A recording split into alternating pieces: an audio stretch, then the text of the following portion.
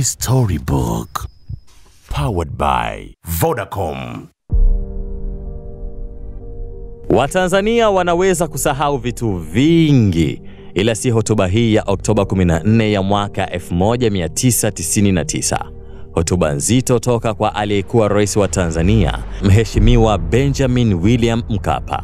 Hotuba iliyojeruhi mioyo ya Watanzania na kulitia simanzi taifa zima. Nasikitika kuwatangazia kwamba mpendwa wetu baba wa taifa Mwalimu Julius Kambarage Nyerere amefariki dunia. Mwalimu ameaga dunia hii leo saa nne na nusu asubuhi saa za Tanzania katika hospitali ya Mtakatifu Thomas mjini London ambako alikuwa amelazwa akipata matibabu ya kansa ya damu tangu Septemba 24 mwaka huu. Ndugu wananchi, wakati tunasubiri mwili wa baba wa taifa kuwasili nchini, na waombeni muwe watulivu na tuendeleze mshikamano, udugu na upendo wakati wote wa msiba huu mzito na wa pekee unaolikabili taifa letu. Baba wa taifa atazikwa kitaifa na heshima zote za dola. Hapo machozi yalianza kutiririka, yakatiririka bila ya kukauka, na wekundu wa macho yetu ukaakisi maumivu yaliyo ndani ya nafsi zetu. Tulipofuta chozi jicho la kulia, likatiririka chozi toka kushoto. Tanzania nzima ikazizima na ikawa ngumu zaidi kujipa ujasiri tusiendelee kulia tulipozisikia sauti za maombolezo kutoka kila kona, kusini kwa kaskazini, mashariki kwa magharibi.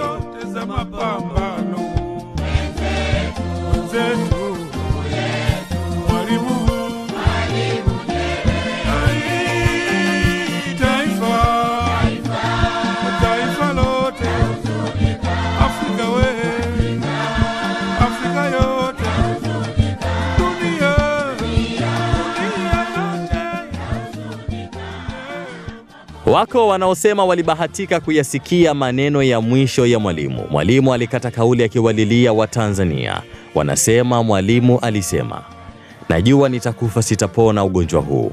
Ninasikitika kuwaacha Watanzania wangu, najua watalia sana. Mwalimu alikuwa wa kwanza kulia katika msiba wake hata kabla yetu sisi kumlilia yeye. Sisi tulilia kwa kumpoteza, yeye alilia kwa kutuhurumia tutakavyosonga bila ya busara zake. Huku nilipoianzia hii hadithi nitawatonesha vidonda. Mtashindwa kunisikiliza mpaka mwisho kwa mazingatio. Acha niirudishe dunia nyuma, mwanzo kabisa wa historia, kabla Kambarage hajawa baba wa taifa wala hajaitwa Mwalimu. Mwaka 1922 katika mwezi wa April, mwezi wa kipindi cha mvua nyingi, katika kijiji cha Mwitogo huko Butiama, nje kidogo ya mji wa Musoma, alizaliwa Kambarage. Ilikuwa ni siku ya Alhamis April 13 mwaka 1922. Siku hiyo mvua kubwa ilinyesha. Mama Mgaya Nyang'ombe aliyekuwa mke wa tano kati ya wake 23 wa Chifu Nyerere Burito wa Zanaki alijifungua mtoto wake wa pili siku hiyo.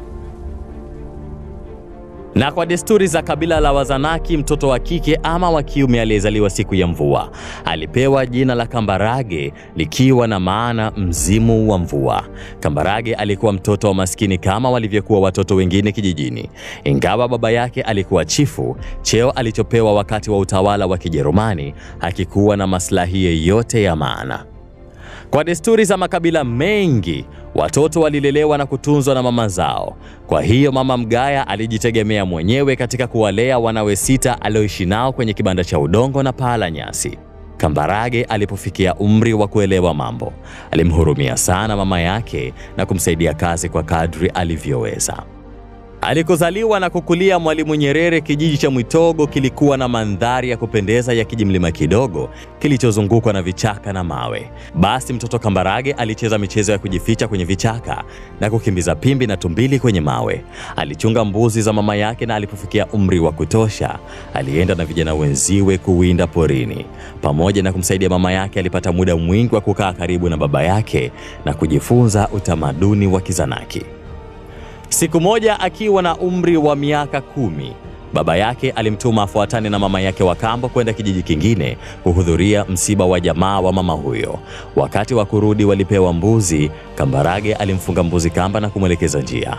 Mbuzi akagoma.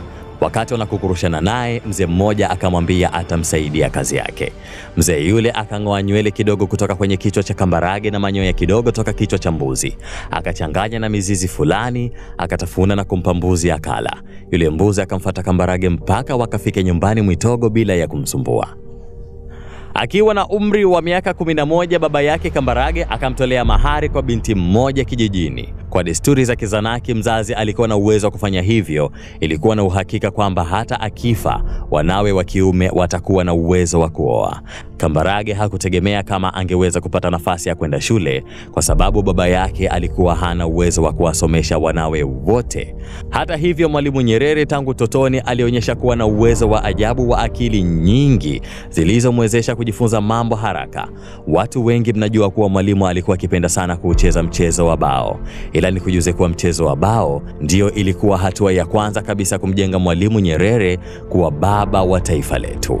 Mwalimu alijifunza kucheza bao kutoka kwa baba na mama yake. Wote wawili walikuwa hodari wa mchezo huo. Basi kila mwalimu alipopewa nafasi ya kucheza bao na marafiki wa baba yake, aliweza kuwafunga japo alikuwa mdogo kwa wazee hao na marafiki wa baba yake. Akili ya mwalimu ilikuwa ikichemka barabara kabisa. Akili alizokuwa nazo katika kucheza mchezo huo ndio zilizomwezesha kupata bahati ya kwenda shule. Mmoja wa wazee hao alimshauri Chifu Nyerere amwingize mwanawe shule kwa kuwa alionekana kuwa na akili sana. Ilimwia vigumu baba yake Mwalimu ambaye ni Chifu Nyerere kuamua kuukubali ushauri wa kumpeleka Mwalimu akajiunge na shule, lakini mtoto mkubwa wa Chifu Nyerere aliyekuwa akiitwa Edward Wanzagi alimshawishi baba yake na hatimaye akakubali kumpeleka Kambarage akajiunge na shule. Hatimaye siku moja ya mwezi April ya mwaka 1934 Kambarage akiwa na umri wa miaka 12 aliamka mapema kwa furaha kwenda kuanza darasa la kwanza katika shule ya Mwisege huko Musoma mjini. Kambarage aliingia shule akiwa hajui Kiswahili sawasawa. Hata hivyo, haikupita muda akajua Kiswahili. Akili alizozionyesha kwenye mchezo wa bao zilidhihirika darasani pia. Ingawa wakati alipoanza shule alikuwa amechelewa kwa miezi mitatu, lakini aliweza kuelewa mambo kwa kasi kuwashinda wengine walioanza mapema. Alipoingia darasa la tatu, walimu waliamua kumrusha hadi darasa la nne. Mwaka 1936 alifanya mtihani wa nchi nzima kuingia darasa la tano. Baba wa taifa enzi hizo anaitwa Kambarage, akawa mwanafunzi aliyefanya vizuri zaidi na kushika namba moja Tanganyika nzima. Kijana Kambarage akiwa na umri wa miaka 15 akachaguliwa kuingia shule ya bweni ya Tabora ambayo ilikuwa darasa la tano hadi la kumi. Akiwa huko shuleni Tabora, walimu wake walimpenda na akili zake nyingi, na wanafunzi wenzake wakampenda sana kwa sababu alikuwa ni mwema na mcheshi sana, asiyekauka na poroji mdomoni kwake. Na hivyo ndivyo tulivyomjua Mwalimu siku zote za maisha yake, akiongea ni busara zisizo na mfano, lakini kwa hadithi nyingi za kuchekesha. Wiki moja alipitapita humu anajitapatapa humu anasema mimi Tanzania yo- serikali yote ya Tanzania iko mfukoni mwangu. Sasa mshezi sana serikali yote ya Tanzania iko ana mfuko mpana kiasi gani? Waliosoma na Mwalimu Nyerere waliwahi kueleza kwamba ingawa alikuwa akienda shule na fedha kidogo sana za matumizi, alikuwa radhi kutoa fedha zote alizokuwa nazo kuwasaidia wanafunzi waliokuwa na shida. Pia Kambarage alionyesha kuwa mtetezi wa haki za wanyonge tangu akiwa shuleni. Siku moja kiranja wa bweni alimpa adhabu mwanafunzi fulani kwa kufunga kamba miguuni na mikono, adhabu ambayo ilimkera sana Kambarage na akawasha moto mpaka walimu kukemea uonevu huo. Akiwa shuleni, japo mwalimu naye alikuwa ni kiranja, lakini hakuwa mbinafsi kama walivyokuwa viranja wengine. Siku moja inakumbukwa, Kambarage aliwahi kuanzisha mgomo wa kupinga mtindo wa viranja wenzake kujipa upendeleo wa kujigawia chakula kingi kuliko wanafunzi wengine. Pia siku nyingine kikatokea kisanga kilichozua vita kali kati ya Mwalimu Nyerere akiwa ni mwanafunzi tu na mkuu wake wa shule ambaye alikuwa ni Mwingereza. Shule paliandaliwa debate na mada ilikuwa Tanganyika iendelee kuwa chini ya utawala wa Waingereza. Kwa vile mkuu wa shule alikuwa hapo na huyo mkuu wa shule alikuwa ni Mwingereza, basi wanafunzi wakaogopa kuchangia mada kwa kusimama upande wa kutaka Tanganyika ipate uhuru. Lakini Kambarage hakuogopa, alisimama na kusema kwa nini Tanganyika ilistahili kupata uhuru. Alieleza waziwazi uovu mwingi uliokuwa ukifanywa na serikali ya Mwingereza katika kuitawala nchi kwa mabavu na kwa misingi ya ubaguzi wa rangi. Mwalimu mkuu alimkatisha na kumwamuru akae chini asiendelee kuzungumza. Kambarage alihamaki na kuamua kutoka kwenda bwenini kubeba sanduku lake ili akapande treni kurudi kwao Butiama. Ikamlazimu mkuu wa shule atumie watu wakambembeleze Kambarage arudi shuleni. Kipindi cha ukuaji wake, Mwalimu Nyerere alikulia katika mila za Kizanaki na kama mtoto wa chifu basi alitegemewa yawezekana siku moja atarithi cheo cha baba yake na kuwa chifu mtawala wa Kizanaki. Kambarage ndiyo lilikuwa jina lake halisi tangu utotoni na akakuwa nalo mpaka alipoanza shule, lakini akiwa shuleni Tabora, ambayo ilikuwa ni shule ya wamishionari, basi ndiyo Kambarage aliweza kubatizwa na kuwa Mkatoliki. Mwenyewe Kambarage akajichagulia jina la Julius. Lakini fahamu kuwa Mwalimu Julius Kambarage Nyerere aliweza kubatizwa baada ya baba yake kufariki mwaka 1942, kwa maana baba yake hakuikubali kabisa dini ya Kikristo, na hata wamishionari walipojaribu sana kumhubiria Chifu Nyerere ajiunge na Ukristo hawakufanikiwa. Mara nyingi mapadri walivyomfata kumhubiria aliishia yeye kuwahubiria wao. Baada ya kumaliza masomo huko Tabora, Julius Kambarage Nyerere alifanikiwa kwenda Uganda kwa masomo ya chuo kikuu katika chuo maarufu Makerere. Kambarage akiwa chuo kikuu Makerere alianza kujihusisha na mambo ya siasa. Alianzisha tawi la chama la TAA kilichokuwa kimeanzishwa Dar es Salaam kama chama cha kutetea maslahi ya watumishi wa serikali waliokuwa wakinyanyaswa na kuzulumiwa na wakoloni. Mwaka 1945 Julius Kambarage Nyerere alifaulu masomo yake na kupata diploma ya ualimu. Akarudi kijijini Butiama na kumjengea mama yake nyumba kabla ya kwenda kuanza kazi Tabora. Ajira yake ya kwanza ikawa ni kwenye shule ya misheni ya Mtakatifu Maria Tabora, na uamuzi huo unatafsiriwa kama moja ya kielelezo cha msimamo wake kuhusu masuala ya haki. Kwa maana kipindi hiko mwalimu alikuwa amepokea barua mbili za ajira, moja kutoka serikalini ikimpa nafasi ya kufundisha kwenye shule ya sekondari ya Tabora na nyingine kutoka kwenye shule ya mission ya Mtakatifu Maria yani St Mary's. Barua kutoka serikalini ilikuwa na donge nono, ilimweleza juu ya mshahara ulioambatana na marupurupu ya malipo ya pension, huku shule za mission hazikuwa na marupurupu yeyote yale. Lakini mwalimu alivyopenda haki hakupendezwa na utaratibu wa marupurupu ya walimu wa serikalini kutofautiana na walimu wa shule za mission. Akaamua kwenda kufundisha shule ya sekondari ya mission isiyo na marupurupu yeyote. Tabia yake ya kupenda haki iliendelea kujidhihirisha katika shughuli mbalimbali alizozifanya akiwa Tabora. Aliendelea kujihusisha na chama cha TAA, akawa katibu wa tawi la chama hicho mjini Tabora. Alishiriki kwenye midahalo ya shule za sekondari na hoja alizozitoa zilivutia sana. Katika mdahalo mmoja uliokuwa na mada mali ni bora kuliko elimu, Julius alipinga vikali hoja, akasema kwamba alichagua kazi ya ualimu ili awawezeshe watu kuelewa mambo na kwamba wakielewa wanakuwa na furaha na si kwa sababu wana mali. Unaweza kuwa mtu mwenye mali lakini huna furaha. Hivyo hata kuchagua kazi ya ualimu ni kwa sababu alitaka kuwafundisha watu wasivyovijua ili kuboresha na kuyapa furaha maisha yao. Mwalimu Julius alikuwa na hamu sana ya kwenda nje kwa masomo ya juu, lakini kutokana na msimamo aliokuwa nao dhidi ya serikali, wakoloni hawakutaka kumpa nafasi hiyo. Walimhofia kuwa baadaye atakuja kuwa mwiba mkali utakaowasumbua sana.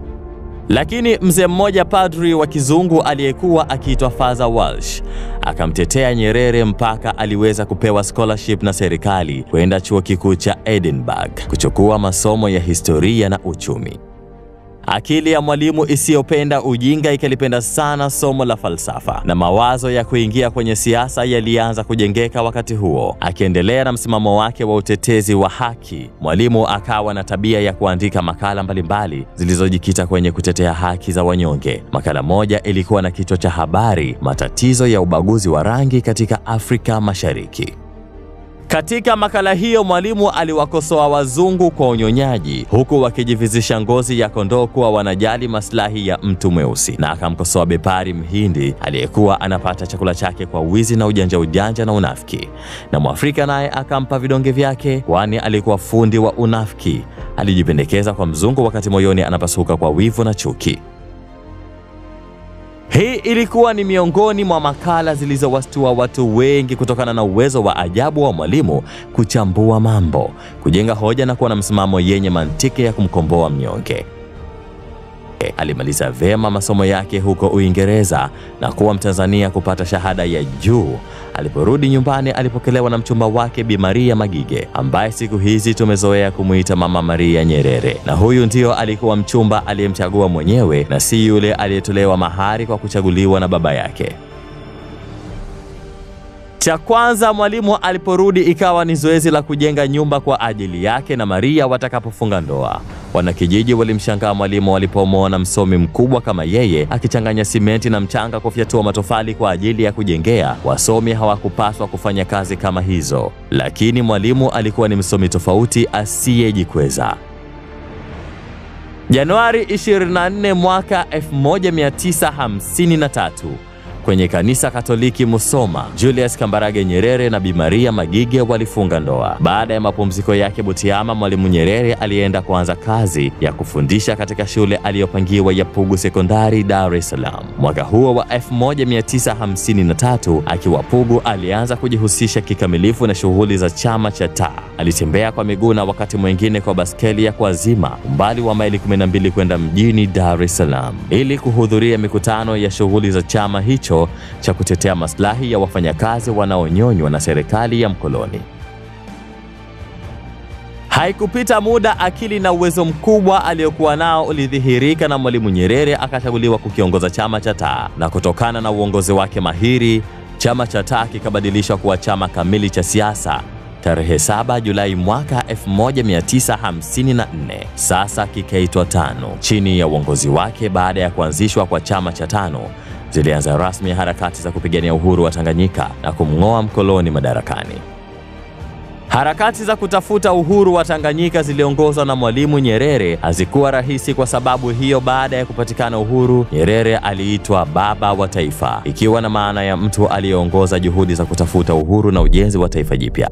my last speech to the General Assembly, I have described events and trends and needs as we in Tanzania perceive them. To be silent when we see danger, to refrain from attacking policies which we see as contrary to the interest of peace and justice. To do these things would be to surrender our freedom and our dignity. That we shall never do. Thank you.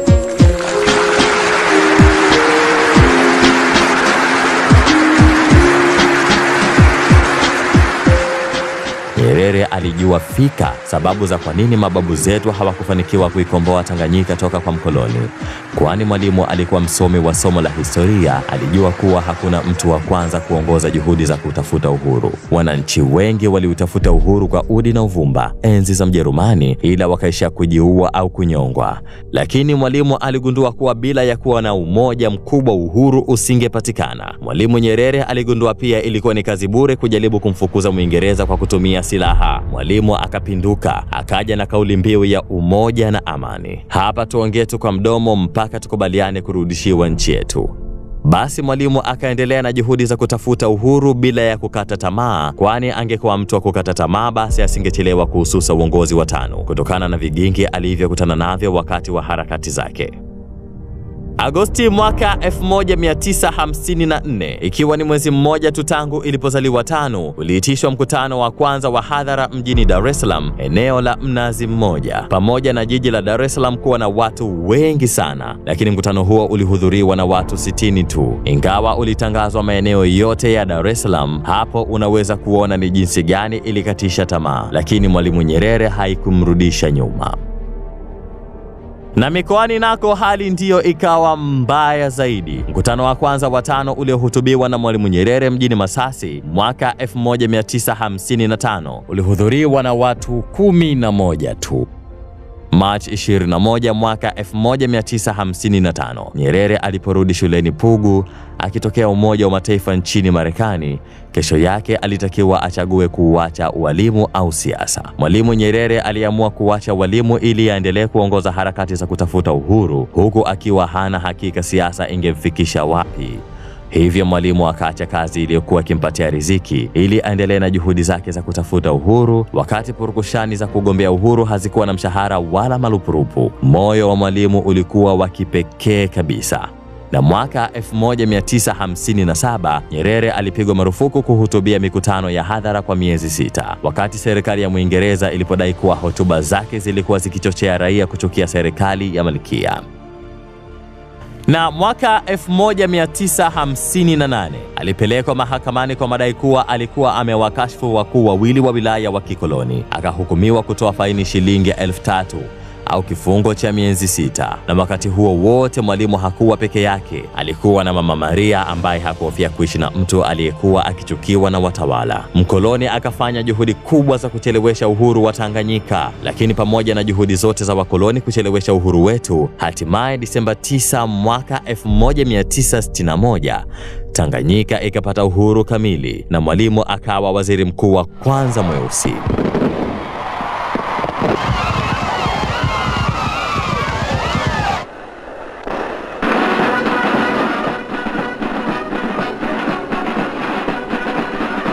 A new nation had arisen. Independence had been achieved.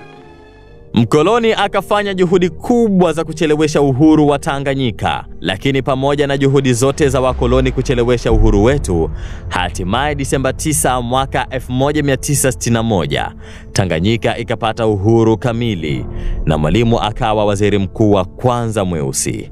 Do, niishie hapa kwa leo. Wazee wangu zamani wangesema wakati ni ukuta, lakini mwisho wa kipindi hiki ni mwanzo wa kipindi kingine. Inshallah tutaimalizia simulizi hii ya Mwalimu Julius Kambarage Nyerere, baba wa taifa. Jina langu unaitwa Mtiga Abdallah, the real deal. Mwandishi wa simulizi hii anaitwa Jamal Mustafa. Mfollow kwenye ukurasa wake wa Instagram anatumia Jamal April. Mimi hapa natumia pia Mtiga Abdallah. The Storybook. Powered by Vodacom.